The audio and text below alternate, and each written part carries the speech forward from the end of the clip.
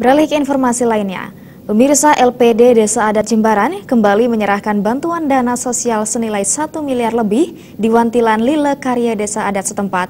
Bantuan dana sosial yang diserahkan langsung Bendesa Adat Jimbaran Made Budiarte bertujuan untuk lebih mendekatkan keberadaan dan transparansi LPD kepada masyarakat selaku pemilik LPD Desa Adat Jimbaran.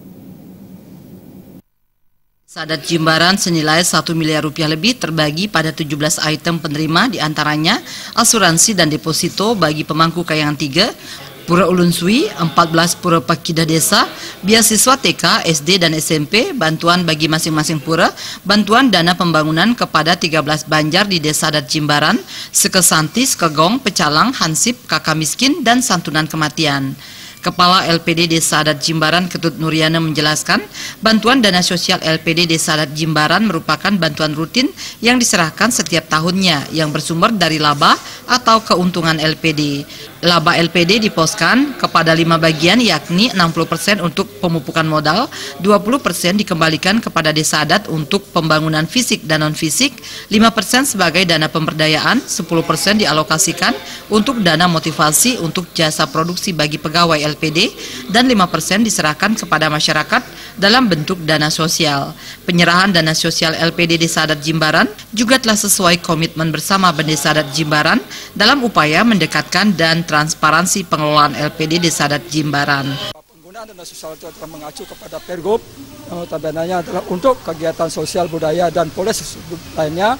Dengan maka itu kita realisasikan pada hari ini untuk kegiatan yang namanya ya pemuda olahraga, kemudian untuk uh, pertahanan keamanan adalah ANSE, pecalang itu kita berikan bantuan, kemudian uh, untuk pemangku sebagai untuk penerusan skalanya, kemudian untuk penataan-penataan sebagai pemilik daripada lembaga ini, untuk uh, pengembangan budayanya, kemudian pemuda olahraganya lewat SCT sebagai bentuk perwujudan dari realisasi uh, dana sosial sesuai dengan aturan yang dituangkan dalam perda.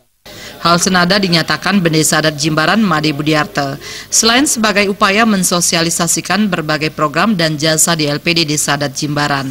Terlebih lagi LPD merupakan milik Krama Desa Adat Jimbaran. Penyerahan dana sosial LPD Desa Adat Jimbaran telah sesuai dengan visi misinya selaku Bendesa Adat. Made Budiarte juga menjelaskan pola penyerahan dana sosial LPD Desa Adat Jimbaran digelar di Wantilan Desa. Sebelumnya penyerahan dana sosial dilakukan di kantor LPD sebagai upaya sinergitas desa adat dan LPD. Untuk lebih mendekatkan ke masyarakat, untuk lebih transparansi keterbukaan kepada masyarakat, dan untuk mengenalkan mendekatkan LPD itu sendiri.